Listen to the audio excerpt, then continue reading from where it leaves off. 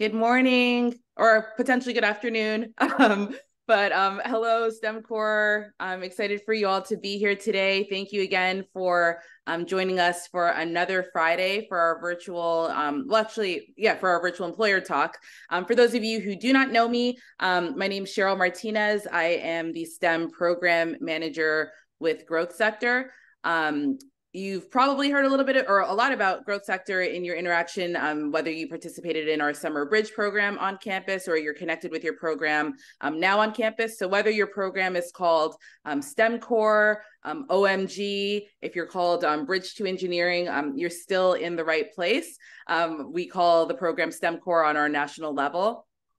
and we're just super excited because um, obviously the STEM Core program, we're um, on campuses all over the country. So you're in good company and we're um, excited that you're able to connect with your colleagues and peers um, and other STEM core participants around the country.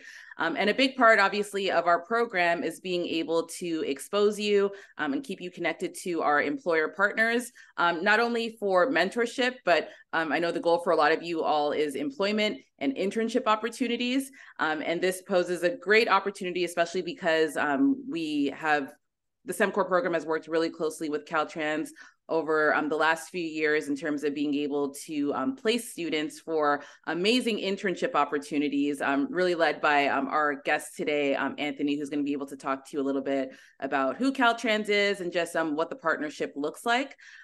so we will be sure to leave a few minutes at the end if anybody has questions, but also feel free to put your questions in the chat as well if anything comes up for you during today's session. All right, so um, I will turn it over to our guest today, um, Anthony, to take things over. Welcome. awesome. Thanks, Cheryl. So, uh, yeah, I'm excited to be here, you know, especially to uh, present to all of you. And I'm even more excited to, uh, to hear that there's uh, uh, some of you students from all over the United States. So hopefully we could uh, entice you to come to California and join us over here in Caltrans. So, so with that, let me share my screen real quick and get this started. Oh, uh, let me see. screen sharing. Actually, let me share the other screen. Screen two. yeah. So, uh, so once again, my name is Anthony Ng. I'm from Caltrans over here in California. I'm a civil engineer. Uh, and uh, the division I actually work in is in design.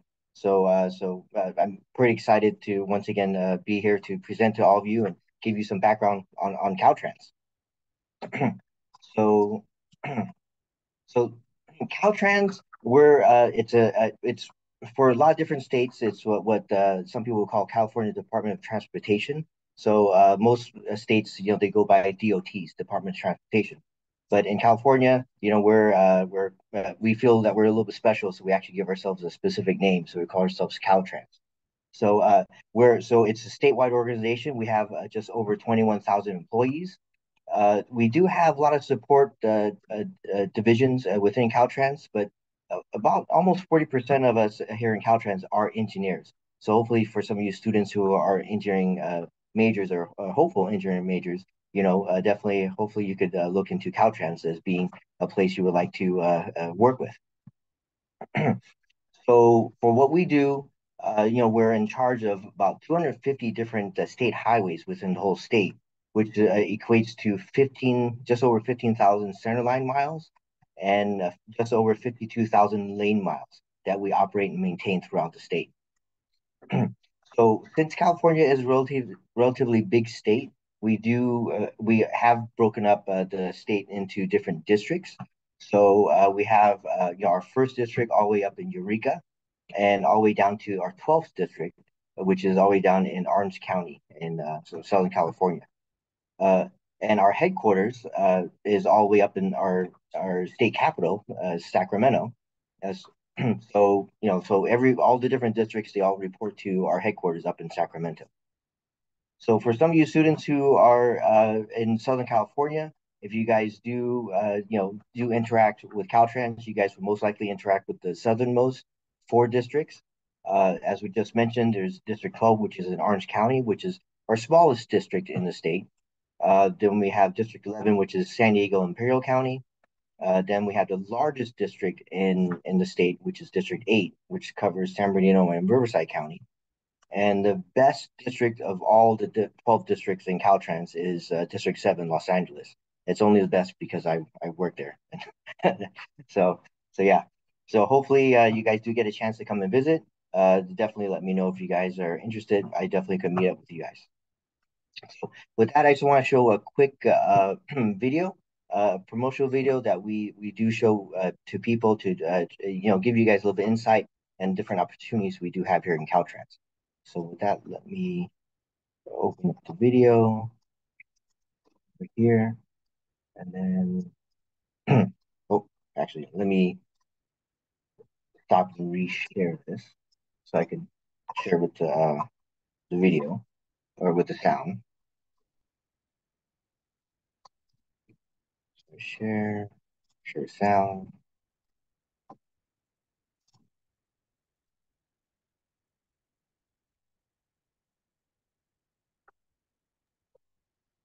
Um, I don't think we, I don't hear the sound, Anthony. I'm not sure if everybody Oh. else. What was that? I'm not hearing any sound. You're not hearing the sound? Okay, let me reshare that again. Show share sound. Oh, optimize for video clip. Okay, there we go. All right, how about now? With over 20,000 employees, Caltrans, the California Department of Transportation, is a world class engineering organization that manages the people and regions of California.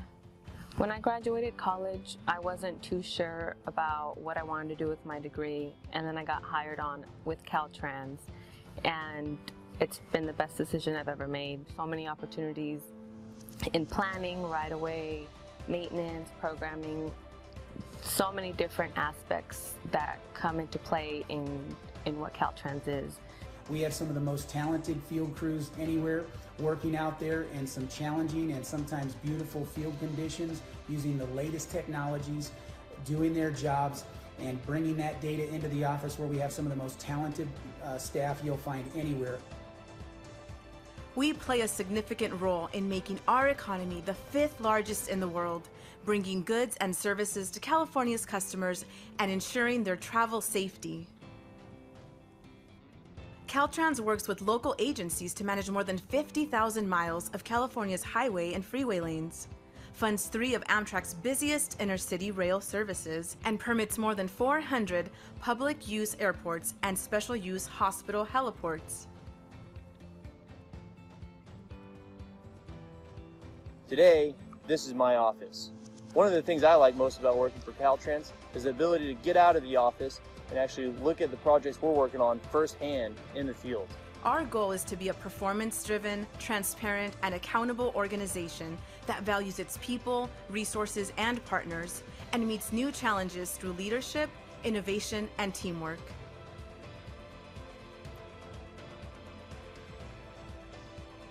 Caltrans is a great place to work. Here in design, we prepare plans, specs, and estimates, and we coordinate with maintenance and construction to make sure that our projects are constructible and maintainable. What I love about Caltrans is that there's so much to learn, and I'm surrounded by great mentors who are always willing to help me out along the way. There's a certain satisfaction that comes from knowing that I've designed a piece of that infrastructure and that what I have done is something that will benefit the lives of millions of people. I started with Caltrans as a student assistant, and I was instantly drawn to the challenging and engaging projects that I had opportunity to work on. When a position opened up, I didn't even think twice of applying. Caltrans provides you with the tools and resources to set you up for career success, and um, working for Caltrans feels like a family. We are dedicated to our vision of a safer, more sustainable, and accessible transportation system for all users. The quality of management and the ability to facilitate and cultivate a positive work atmosphere. Uh, everyone um, I've worked with at Caltrans, uh, they know the tangible benefits that they are conferring on the community, and they're proud of it. And they take great pride in uh, not just what they're working on, um, but the results they see day in and day out. So I've been with Caltrans for 26 years, and what I have appreciated the most about working for Caltrans, the opportunities that we have here that you may not have at other state agencies or in the private sector. If you want to work in roadway design or in bridge design, drainage or geotechnical design or environmental engineering, there are so many different opportunities, and you are encouraged to move around. One of the things I love about working for Caltrans is how diverse we are. So there's a lot of collaboration. Love the environment. Love the family nature of working in Caltrans. As a professional land surveyor, I do have the opportunity to work in the field or in the office. If you love the mountains, if you love the coast, if you love the valley, Caltrans has those opportunities. I appreciate the ability to explore your career. So if you're not sure what you want to do, there are so many places that you could land and you can find the best version of yourself here. I would say do yourself a favor, come work for us. We would love to have you. You would make us better.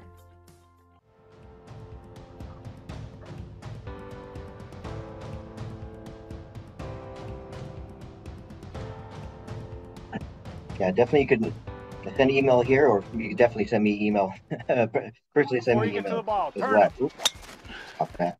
So, all right. So here, let me bring this back up. Here and let me see.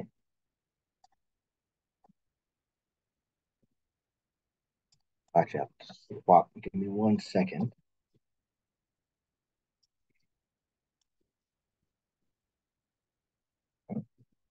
Let me see display settings. Swap. All right. All right. okay. So so yeah. So hopefully that's uh, give you a little bit of background and uh, on Caltrans, a little bit more background on Caltrans, and, and you know some insights on on uh, you know the opportunities that we have here in Caltrans. So and and just to let you know that you know Caltrans is such a big organization. We do so many different things. So even though we're broken up into 12 different districts, and within each district, we actually are even broken up into even more different divisions. So some of the divisions that we have here is uh, design, which is the best one, because partly because I'm in that one.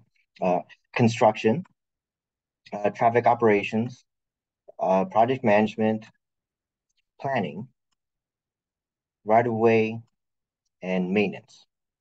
And within each of these divisions, we actually even broke on, uh, we break them up into, into even more different units because there's so many different things that we actually do handle within each division. So on the division design, we have uh, you know uh, units such as surveys, we which actually goes out and you know gets the information for us to put into our base maps, so we could design off of.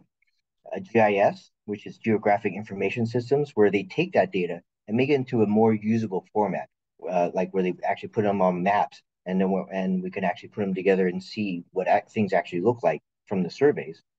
Uh, hydraulics design, which where they calculate all the different runoff that actually flows into our roadways, and and so we could size up our our uh, catch basins and detention basins.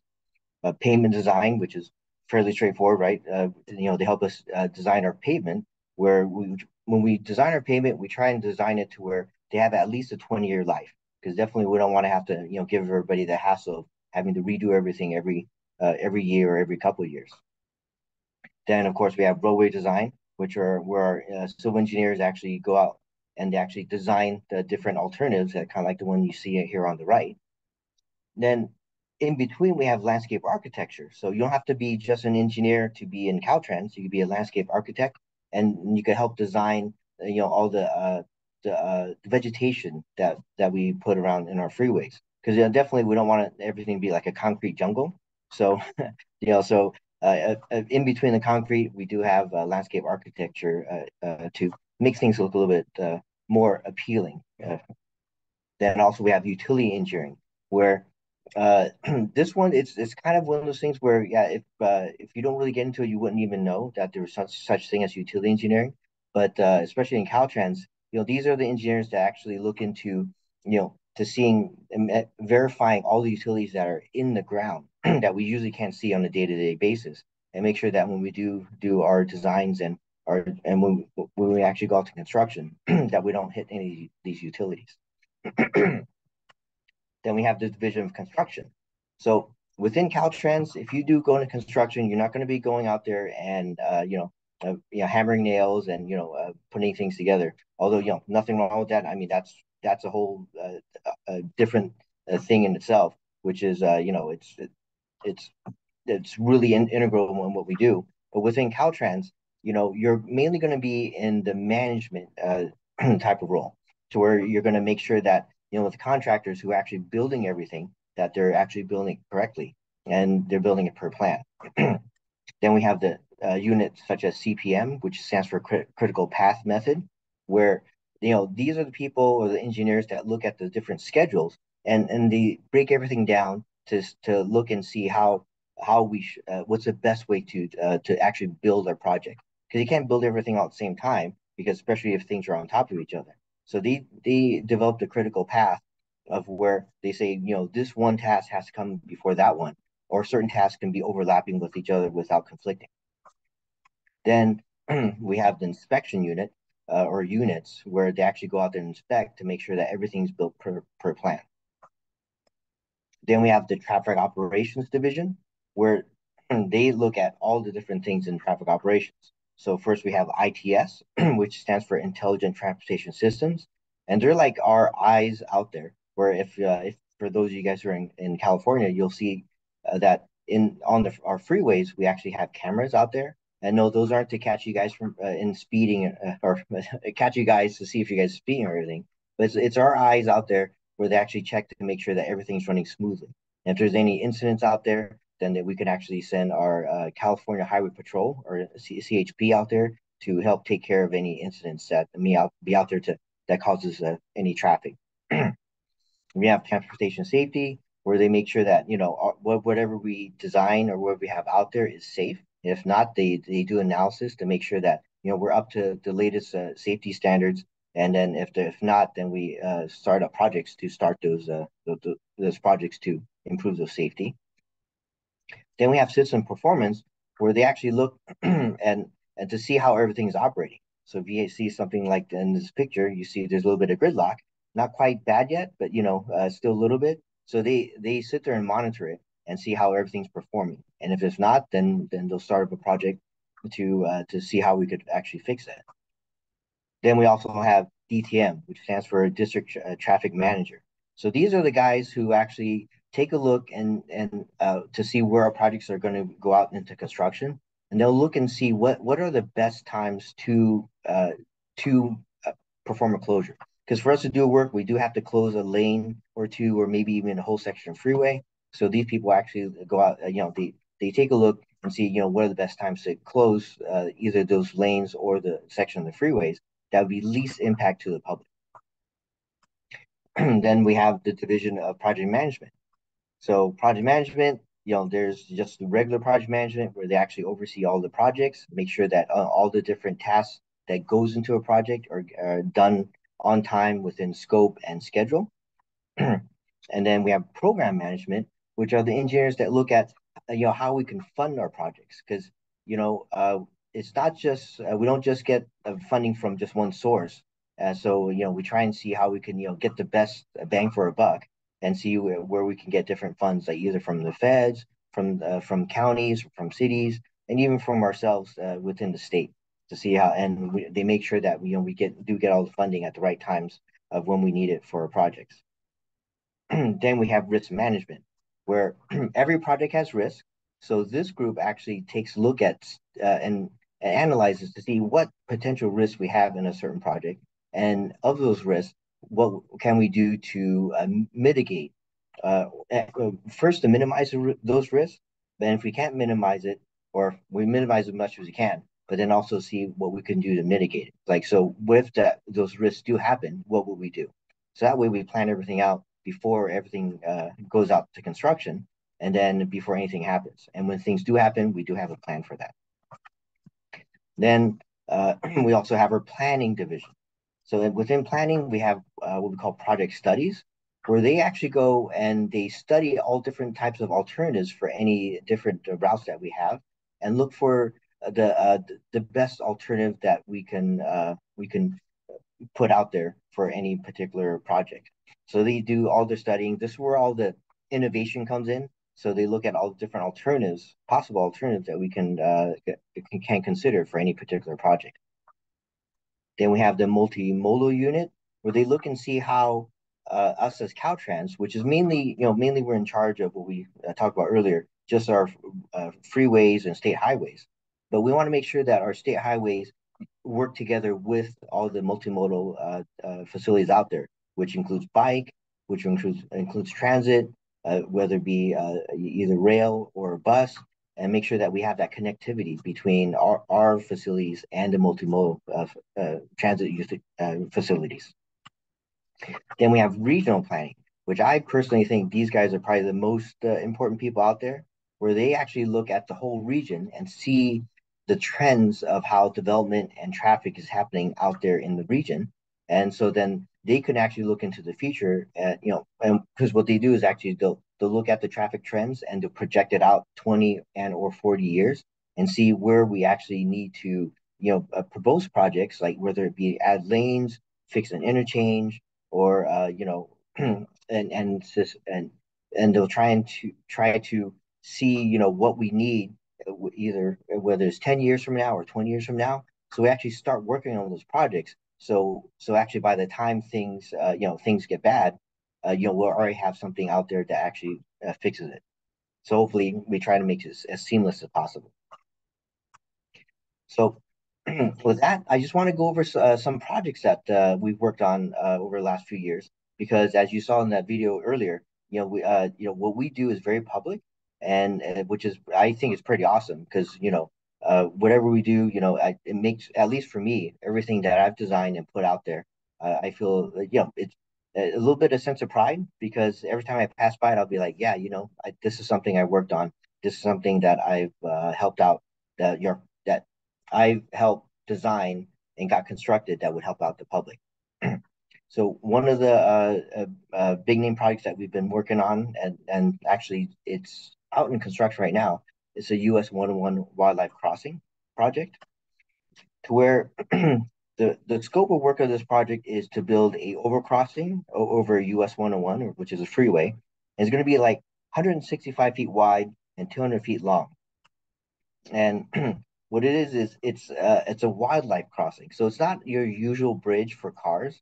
And actually, on this bridge, is no cars actually allowed. And it's really to help the wildlife cross in, in within this area. And the sponsor of this was actually started by the Mountain Recreation Conservation Authority, uh, where they actually uh, came to us in Caltrans to say, hey, you know what, uh, we have a serious issue with the wildlife in this area, and we definitely need you guys to help out with, uh, you know, uh, to, in finding a solution. And total cost of this project is about uh, uh, 88 million. That was the initial cost, and you'll see in the video that come we're gonna that's gonna come up in a couple minutes. Uh, the cost has gone up a little bit, but not anything too crazy. So to give you a feel for where this project is at, it's going to be right here uh, on uh, off the US 101, and and you, the reason why uh, you know the wildlife organization came to Caltrans to help see how we could find a solution for this project is that years ago when we did build uh, the US 101 freeway over here, as you can see in this red line, is that uh, that this uh, dark orange or maroon uh, shaded area is a wildlife habitat. So when we build in, uh, put in this freeway, we actually split this ha habitat in half. And so there's a northern portion and a southern portion. And we all know that with freeways, it's uh, it's it's uh, not the best place for for wildlife to actually cross the freeway. So uh, technically, we just like we totally separated these two these two areas. So and one of the biggest things with this area, uh, the splitting of this area is there's a, a big mountain lion habitat out there, and you know so they're not able to uh, you know to cross to the other side where some of the relatives were uh, your cousins and uh, sisters and brothers were were living uh, when we split up the uh, uh, you know uh, the areas with our freeway.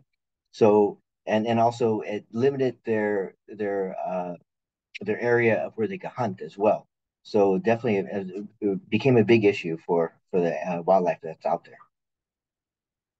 so this is a rendering of what it's going to look like. Like I said, it's a wildlife crossing, so uh, so no cars are actually allowed on this, and so we're going to put a wildlife bridge over the US 101 freeway, and also there's a frontage road, which is Agoura Road, that's right next to it, which we're also put a uh, we're also going to put a wildlife bridge over as well. So this is a rendering of what it would look like when it's uh, actually going to be built. And uh, as I mentioned earlier, it's this project is actually out in construction right now. So, so for some of you guys who are here in Southern California, definitely if you drive through the uh, the 101 uh, freeway and through the uh, Agoura Hills area, uh, you'll definitely see our construction people out there right now. So with that, I want to just share with you guys the, another video the, of a newsreel that the uh, or news report that uh, reported on this uh, Uh, this project as well. Southern California is famous for its freeways, and now we're one step closer to building a major thoroughfare just for wildlife. An $87 million wildlife bridge over the 101 freeway in Agoura Hills entered its final design stage. Carter Evans shows us how it will help animals cross over safely. Yeah, this news report was right during when Mountain lions and other wild animals have lived in the heart of Los Angeles for centuries, but the freeways that were built to connect people ended up isolating wildlife. Hoping to preserve mountain lions and other species, officials are in the final design stage for a crossing over one of LA's busiest freeways, the 101. Beth Pratt is with the National Wildlife Federation. This is not going to look like a standard overpass. No, these are beautiful. They're not just bridges. These are uh, vegetated landscapes because the animals have to feel safe. The overpass would stretch 200 feet over 10 lanes of highway and provide big cats, coyotes, and other creatures better access to not just food, but also potential mates. If we don't provide connectivity, they can't get dates outside their family. So they are at risk of going extinct. so they understand what dating life is like in LA. Yeah, you know, uh, like all of us, the 405 divide has killed many a romance. Since the National Park Service started tracking mountain lions in 2002, 18 have died trying to cross freeways and other secondary roads. Without the overpass, animals have been forced to take risks or get creative. Which mountain lion was it that made it through here? So it was P64. This image captured P64 coming out of a drainage pipe last year. We found this long, dark tunnel that unfortunately isn't great in terms of a wildlife crossing in general. So far, the National Wildlife Federation has raised more than $13 million from private donors, and they're confident they'll raise the remaining 50 to 60 million. Completion is set for 2023. We're going to inspire We're a little the bit world. behind right now. That many people are going to drive under this and know what's possible in LA. If LA can do it, nobody else has an excuse. Carter Evans, KCAL 9 News. I'm Miguel. All right, yeah. So, uh, yeah, it said we're supposed to be done in 2023, and this news report was from a, uh, a, a couple years ago. Uh, so right now, I think we're scheduled to complete uh, in uh, let me see, complete in I think 2025 right now. So yeah, so a little bit delayed, but still moving forward. And one one awesome thing too is you know how uh, in the uh, newsreel you saw that uh, you know the uh, the uh, Wildlife Federation they look for donors. One of the uh, big donors for this project was Leonardo DiCaprio, and he donated like I think a million dollars to for this project. So something very exciting, and definitely we can't wait till it's uh, until it's complete. Right. So, uh, and I just want to showcase one other project that we've worked on. It's called the Gerald Desmond Bridge. So with this bridge, it starts from the 47 over here, or close to 47 on Ocean Boulevard, and goes all the way to 210 uh, out in Long Beach, which is in you know Southern California within uh, District 7. And and the purpose of this project is because is that there's an existing bridge out there right now, and the vertical clearance is uh, is not uh, adequate enough anymore because with the uh, new uh, ship containers nowadays, you know we have we have bigger ships and they're loading up with even more containers and much higher. So right now, uh, those uh, higher uh, container ships aren't able to, to come in into the port of Long Beach. So so once again, but then and another part of the project purpose of the project is that the existing structure that you just saw is is kind of old. So, and it's uh, past its actual uh, design life. So uh, we do, uh, you know, want to make sure we replace it before it starts, uh, you know, falling apart.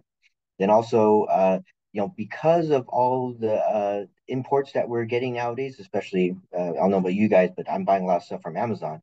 A lot of this, uh, those things are coming from over, overseas. So the Port of Long Beach and Port of LA are actually getting extremely busy, even more busy than they've been for the last like uh, um, many years. So definitely we need to in, uh, increase the width of that bridge from four lanes to six lanes. And once again, we already uh, talked about how the vertical clearance is uh, not adequate. So this is a fairly expensive project. It's a little over a billion dollars for, for this bridge, but it's something that's uh, extremely uh, uh, necessary uh, to build.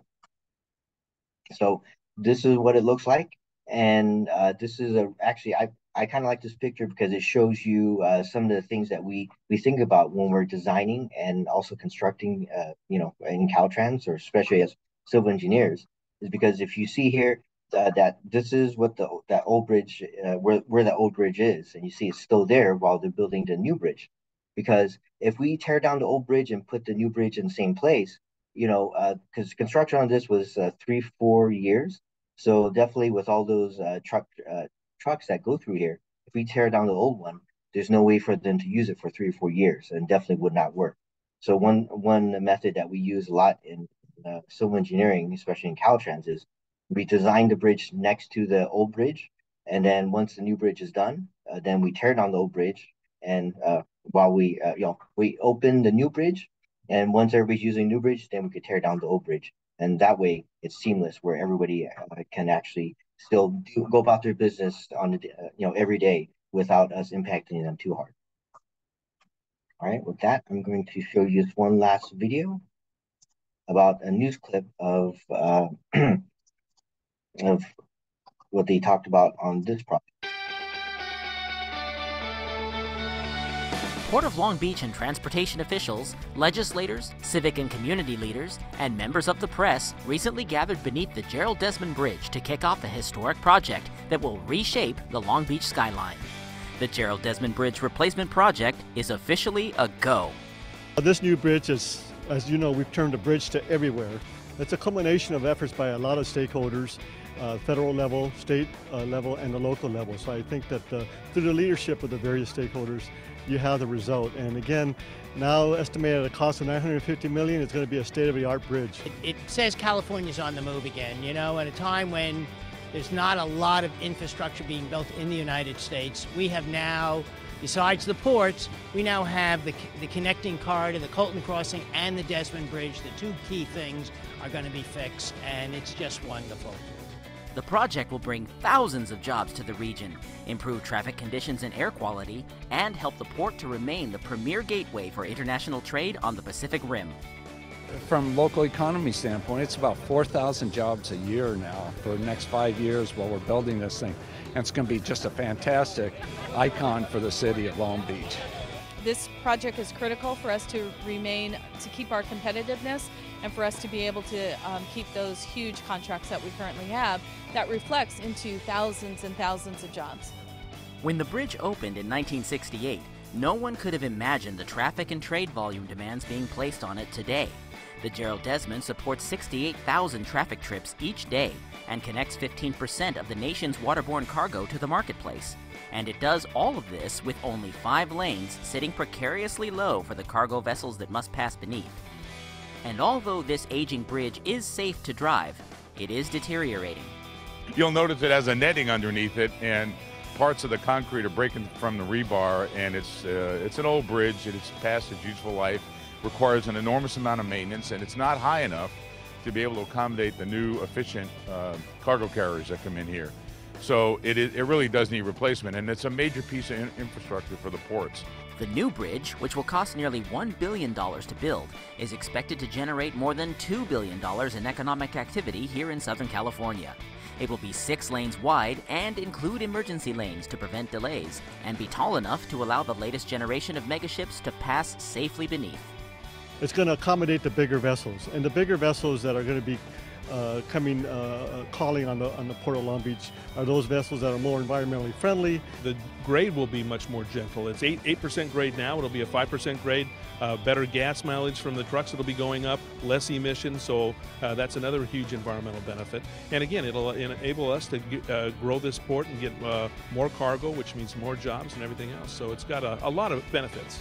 Preliminary construction will begin in 2011, and both Caltrans and the Port of Long Beach will work together over the next five years to ensure the project's success for the good of the local community, the region, and the entire nation. For more information, visit www.polb.com/bridge. All right, yeah. So, so the bridge is actually uh, open and uh, up and running. So, uh, so yeah, for those of you guys who are in uh, Southern California, uh, definitely uh, make sure you drive through uh, Long Beach to uh, so you can see uh, see the uh, see the new bridge. oh, things uh, lost my place. Give me one second. So yeah, okay. Go to a quick second. All right. So all right, so now since we've told you everything about Caltrans and some of the exciting projects that we've, we've been working on, so we just like to let you guys know that we are, uh, we like to be or think of us uh, ourselves as a workplace of choice.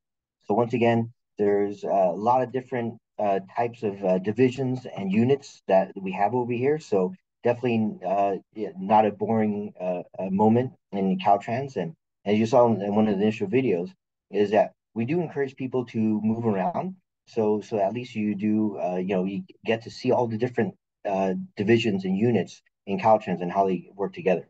And if you guys do actually graduate and and do actually join us permanently as Caltrans, we do have something what we call a rotation program. To where let's say you were hired in design, uh, then after you work here for a year uh, in design, then you're uh, you go on rotation into different divisions uh, such as construction, either planning or maintenance, just so you could see, you know, how everything operates and how everything fits together in Caltrans. So that's one of the perks of working in Caltrans as a permanent employee. So if you guys do decide to pick Caltrans as your growth sector uh, uh, employer of choice, uh, you know, some of the things that we typically work on in Caltrans is uh, CAD, which stands for Computer Aided Design Drafting. Uh, we also have regular CAD, you know, CAD, Computer Aided Drafting. And uh, what we use here is MicroStation, which is is like uh like Coke and Pepsi. So I'm sure a lot of you guys probably have heard of AutoCAD, which is the Coke version of CAD, and MicroStation is the Pepsi version. So uh, but you know, if you guys, it, it's be great if you guys have uh, CAD experience, and doesn't matter what what type of CAD experience, any experience is good because they all do the same thing, just a little bit differently. But if you don't, don't even worry about it because definitely we have uh, you know a, a, very extensive training program over here as well. And then and some of the work that you guys would be doing if you guys do uh, come to Caltrans, especially in the design division, you'll help with like certain things like quantities. So uh, I mean, definitely you'll help with uh, uh, some of the design. But then you know once we get design, we we usually you know need to uh, prepare the quantities to find out how much concrete we need, how much steel we need, everything that way, it makes it uh, easier for the contractor to to bid on our, our projects, uh, uh, you know, before they build it. Then, of course, you're going to be helping out with plans and reports. So, uh, helping us putting uh, put together our our plan package that we we put out for uh, for the contractors to use to build, and also the, some of the reports because we do have some planning reports that we like we talked about earlier that you guys can help out with into determining which which alternative or what uh, improvements are going to be best for a particular project. So, so, uh, so that's all the spiel I have for Caltrans, and hopefully he's, he's announced. Uh, I'm not able to see everybody, but we, uh, uh, we, so uh, as Cheryl mentioned earlier, we have been participating in the growth sector program for the last three years, and act well. This will actually be our fourth year, and so this last year we we had about seven growth sector interns in District Seven and I've invited uh, uh, Lewis, who was actually our uh, alum from uh, this year's uh, growth sector internship uh, program, to give a few minutes of testimonial on his experience with us here over here in Caltrans. So hopefully, Lewis, are, are, are you here? Yep, I'm right here. Awesome. Yeah, thanks. Okay, yeah. Uh, uh, open up to you, Lewis. Thanks. Yeah, no, thanks, Anthony. Um, yeah, so as Anthony mentioned, um, my name is Luis Rakava. I'm right now with uh, Santa Ana College, uh, looking to transfer hopefully by next year. And I had the privilege of being able to intern at uh, at Caltrans this uh, past summer. It was a overall really great experience. Uh, I really loved the work environment there. Um, I specifically was able to work with the ITS division, and uh, because of that, I unfortunately wasn't at the downtown building as much as the other interns, but it was still a really cool experience because, as Anthony had mentioned before, the ITS division works um, hand in hand with the with the TMC, the Traffic Management Center. So, if you do end up uh, choosing Caltrans as your internship site and uh, get the opportunity to work with them, and you end up choosing the division of ITS, you will be relocated to a TMC building. Um, and that building is uh, not just random, it's uh, done for a specific reason because, as Anthony had mentioned earlier, they work hand in hand with the traffic management center. So, any issues with like speeding or uh, just you know overall surveillance of the freeways, uh, that's basically what we communicate to the um, to the sorry i'm blanking the highway patrol people so in that way you know they can get sent out and know exactly where the issue is occurring um, some specific work that i was doing with the team was uh, making sure the health of the system was was okay so basically the communications of all of the devices that are out in the freeways um, that's something that me and the other intern would uh, look up on and uh, make sure to report to our supervisor that everything was running well. Any issues that we had with any specific devices at certain locations, we would just make sure to uh, write it down and report back to our supervisor. So uh, you definitely have the opportunity to get involved with the work that they're doing uh, there at that specific division. Um, because we are interns, we also helped out with any you know day-to-day tasks that they were also handling, such as just um, configuring any devices before they're actually sent out to uh, their specific locations. Um, if you're interested in uh, networking, so like working with routers and switches, all that stuff, uh, I would definitely say that this is a good opportunity for that. Uh, everyone there on the team has a background in electrical engineering. I personally am majoring in electrical engineering, and I never even knew um, like that you could work with networking uh, through that. And uh, after getting a chance to speak with everyone on the team there, they also mentioned how they came in with basically uh, zero experience in networking, but they were all electrical engineers, um, which I thought was kind of interesting. But it just goes to show how, uh, even after graduating, you still have the opportunity to continue to learn and grow and expand your skills um, in different areas. So, uh, overall, I would definitely say that my experience at Caltrans was uh, was really great. I, I appreciate the offer that they that they were able to get me and uh, being able to spend my summer there with them was was the highlight of my summer. It was it was a great experience and overall something just good to do for yourself to continue to develop professionally in your career. Yeah, awesome. Thanks, Lewis. Yeah, and Mumu, yeah, you know, who was uh, uh Lewis's uh, supervisor, she said a lot of good things about you too. So, so we're very excited. So. Good to hear. Good to hear. awesome. Yeah. Thank you so much, Lewis, for giving a testimonial. So yeah. Yeah. No, I, thank you for inviting me. Uh, yeah, I think I can say whatever I want, but yeah, you know, it, I think it means more when they hear from uh, you know someone uh, like that that's uh, more of their peers. Yeah, no, definitely. Especially when we had our final meeting, I know that you guys appreciated the feedback that we gave you all. So, uh, definitely, just hearing it from the students themselves, the ones who are actually out there doing it, it's it's definitely important to get information on. So yeah. Yeah, awesome. Okay. Thanks again, Lewis. Appreciate it. All right. So uh so uh once again that, that's all I got. So once again, my name is Anthony Ng. I'm uh, from uh, Caltrans District 7, which uh, once again is the best district in the whole state, uh, which is in Los Angeles, uh, Southern California. And if you guys do want to uh, get a hold of me, or if you guys have any additional questions outside of, uh, you know, af- after, uh, you know, the, this meeting, like uh, like if you wake up in a cold sweat tonight with a question, definitely feel free to uh, send me an email. All right. So so yeah. So I guess I'll leave it open uh, uh or open it up for any questions you guys might have. Amazing. Thanks so much, Anthony and Lewis.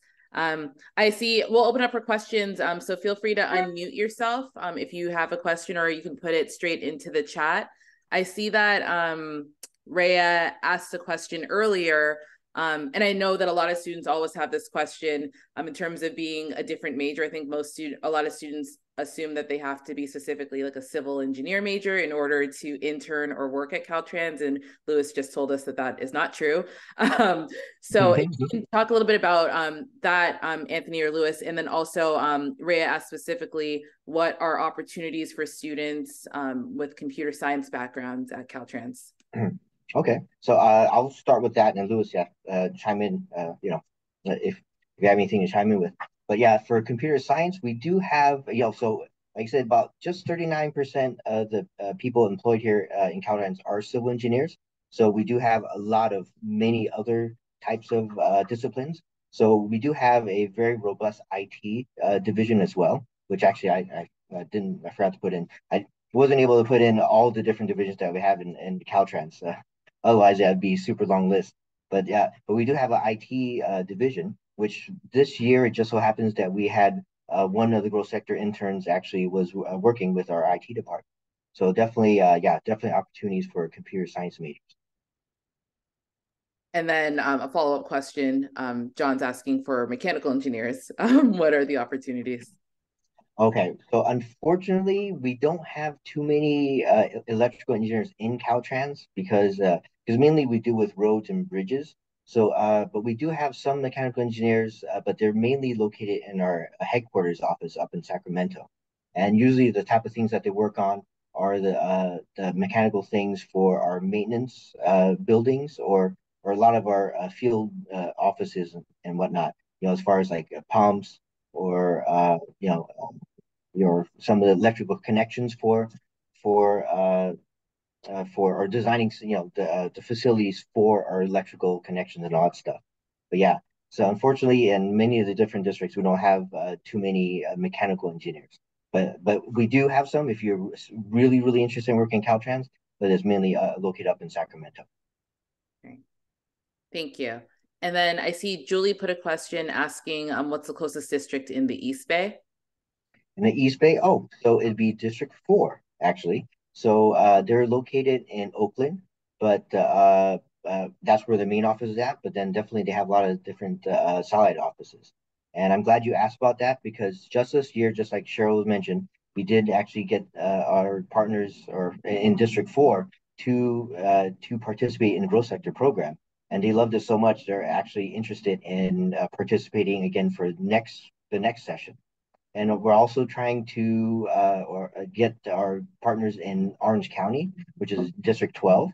Uh, so uh, they are interested as well. thanks. We're STEM Core's taking over. yes, you guys are, and you guys are more than welcome. Um, and I think one thing to note um, for our students to keep aware as well is um, Caltrans does a really great job of taking a look at our students' interests and then placing you into specific um, departments. So um, if there is interest in like when you go through our um, STEM core internship application process, um, they are Anthony does a great job of like giving us a full list of like these are the departments that are available um, and actually providing a position description um, that you would potentially um, be able to work in within that department. And then our students have an opportunity to say like these are like my top three, like one, two, three that I that I'm really interested in, and then having the opportunity to speak with um, the mentors or the potential supervisors in those departments, to see if it's a good fit for you, which is very atypical. Not all of our um, employer partners do that, and Caltrans does a really great job of taking our student interests and skills and um, placing them accordingly. Yeah, thank you. Yeah, I mean that's why we we strive to be the uh, employer of choice. especially since we're such a big organization, we definitely have a lot of options. Mm-hmm. So, uh, and I see in the chat there was a, a question that uh, higher up in, in the chat would that asked about uh, what back, background one needs to have uh, to be in project management and program management. Uh, you know what? Since it's uh, uh, it's in Caltrans, uh, technically you don't really need uh, too much of a background besides being a civil engineer, you know, because uh, all all our project managers are civil engineers. But actually, well, I take that back. Technically, you could be any engineer. So, uh, uh and so as long as you're an engineer, you're in Caltrans, you're fine.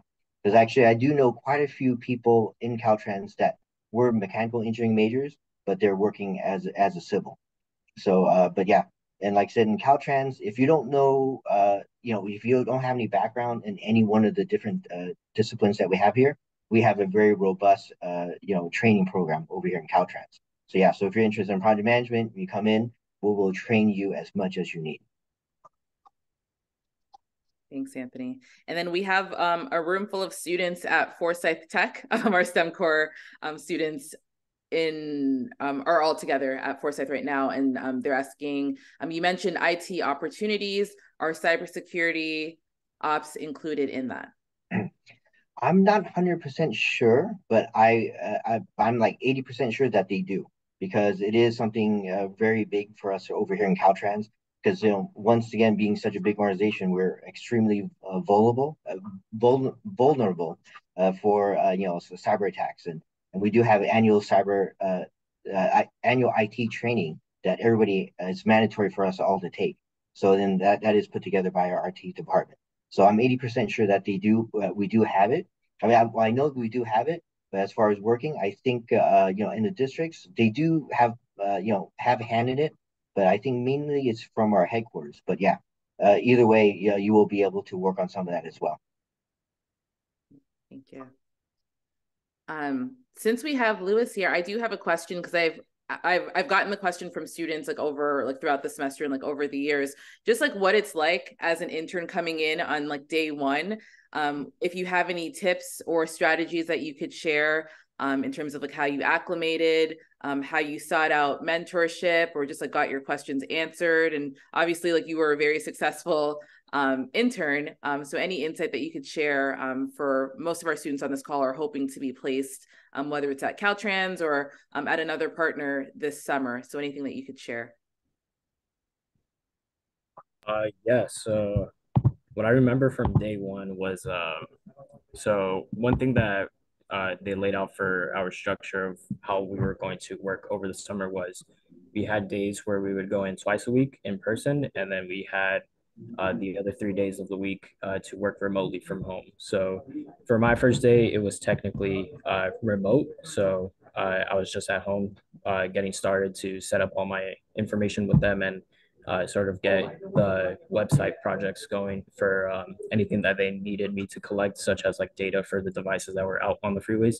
Um, however, I consider my first actual day was the next day when I had to actually go into the traffic management center building um, I would, I just remember being like super nervous because um, it was my first time like actually working in like a position like that.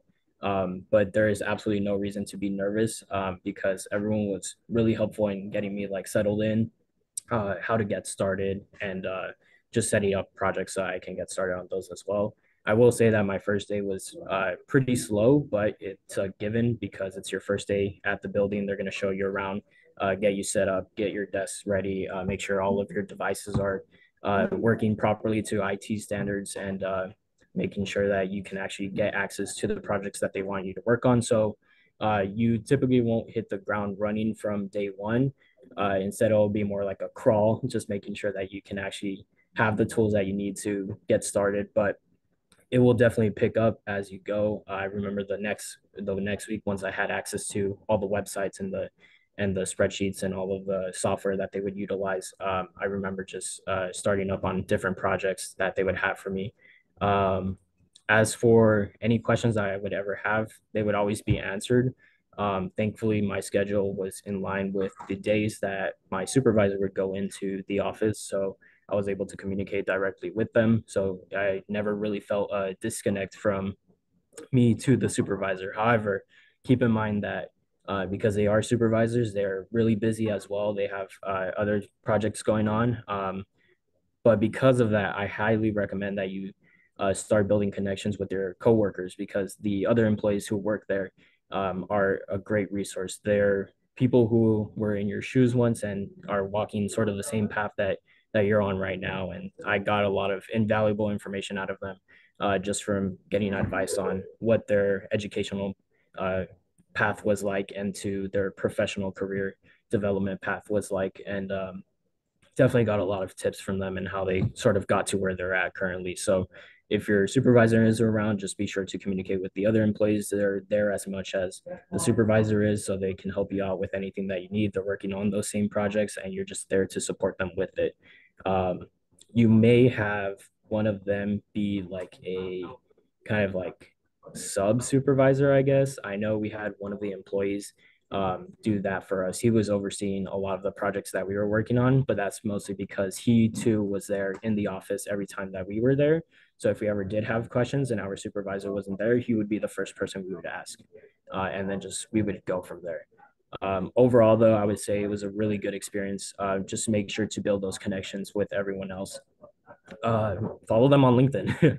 you know, get something with them. Uh, start like trading emails. There are resources that you can uh, utilize later on in the future. Um, again, like how I mentioned before, they they were once in your shoes, and so why not ask them for tips and advice of what you were doing? Specifically for me, it was very helpful because they too were electrical engineers, so I might as well ask them for advice on what they thought about electrical engineering and where uh, the career options are for them afterwards. So I got a lot of information out of them that was really like invaluable to me just because I don't really know too much about my major yet. I know some things, but it's so vague that there's so many things that you can do uh, with it, like end up at Caltrans and work with uh, the ITS department that I didn't even know existed. So it just completely opened up a new path for me uh, and hopefully a future option as well. So yeah, I don't know if you guys have any other specific questions regarding uh, my experience with it, but that's just a little bit of like how I got started and was able to work with others and uh,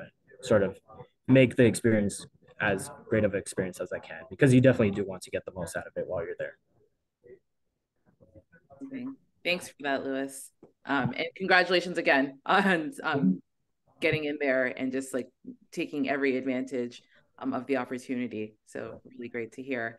Um, I have one last question in the chat from Julie. Um, I think just asking for clarification again, I think for Anthony, in terms of your position at Caltrans, if you can, I think Julie might have missed it, if you can give a brief overview again. Oh, yes. Yeah, uh, sorry. Yeah, I didn't go into too much detail. Didn't want to, you know, uh, boast too much, but yeah, I'm an office chief in in the division of design of engineering services. So I am uh, in charge of about like 60 different people, uh, and it's the engineering services. So we're a support group where we have utilities engineering, materials engineering, we have design liaisons, we have the CAD units. So it's uh it's a, it's a pretty exciting position at, at least for me because we get to uh, support everybody and we get to help everybody out over here.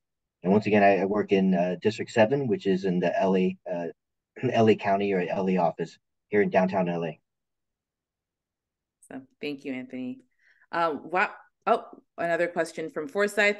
Um, probably the last one since we're right at the hour. Um, when it comes to the interview process, is all that remote and how would potentially working from North Carolina work? Um, I can answer the, um, I, at least the interview component. We have a general STEM core interview process for our students. So um, we're actually going to be opening up the um, STEM core application next month in October. So um, more information will be coming out to all of our students on that. So you do apply um, online, you submit your STEM resume. Your first round interview um, is virtual with um, somebody on our growth sector staff. Um, second round interviews, if you're selected to move um, on to a second round interview, um, we connect you directly with our employer partner. So if you do have interest in Caltrans, you end up doing typically a virtual um, interview with Caltrans. Um, in terms of for this specific opportunity, um, since growth sector does fund placements for students for internships, we do not currently, um, for all of our placements, provide a housing stipend. So um, if you were out of state, and we have in the past had students who are um, really committed, who wanted um, a specific internship, like let's say like in Los Angeles, and they had a family member, and they were like, I can stay there, I can get there. I'm great. we're, able to place you in that situation. There have been um, other opportunities, and depend um, for Forsyth students, we can talk a little bit separately about what that looks like, where there is sometimes opportunities for relocation and housing stipends, but that's not the standard for all of our placements. So just to put that out there um, as well. Um, but that's why we do um, first round interviews with all the students just to figure out like what your situation is and where um, a potential placement makes the most sense for you. So um, more information to come. Um, I work closely with Al over at Forsyth, so I'll be working with Al and answering questions as they come up for each of our individual students. Yeah, and as Lewis mentioned earlier, we were working at Caltrans right now is we're uh, teleworking three days out of the week and uh, working in the office two days out of the week. So uh, definitely a lot, lot uh, more flexible than we used to be before COVID. Mhm. Awesome. All right. So I want to be sensitive to everybody's time. Um, Anthony, yours too, just because we we had you for the hour and we're um just two minutes over. But um, thank you so much for your time. I um fully encourage our students, um, like we keep noting, um, connect. Anthony shared uh, his email address. I'm sure um, probably on LinkedIn. So definitely encourage you to um, get out there and connect. Um, definitely keep Caltrans in mind um, as a potential placement um, as we are thinking about internships already.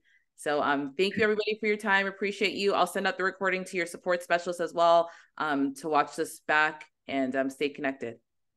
Great. Awesome. Yeah. Thanks, Cheryl. Thanks, Lewis. Thanks everyone. Thanks, Have everybody.